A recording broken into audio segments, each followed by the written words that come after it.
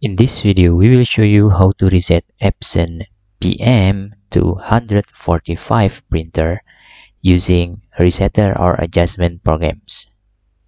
Before you download this resetter or adjustment programs, we suggest you to disable all of your antivirus, including Windows Real-Time Protection and Tamper Protection if you are using Windows 10 or Windows 11. If you can see here, I already disabled this antivirus for a while after I reset the printer. Then you can download this resetter or adjustment programs, the link on pinned comments. This is resetter for PM series. So this is not just for Epson PM 245. After you download this resetter or adjustment programs, you can double click to open this resetter.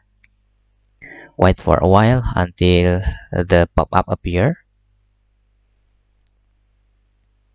In here, you need to click PM 245 because we need to reset Epson PM 245 and click accept in here.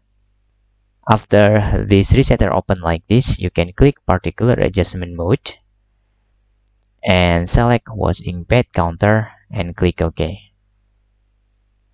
In here, please click on main pad counter option and click check button. After that, you can click initialization button.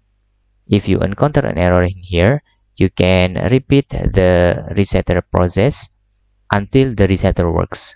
After the resetter works, you can just close the resetter programs and you can turn off your printer after that you can turn back on your printer again and that's all tutorial how to reset Epson PM 245 printer using resetter adjustment programs.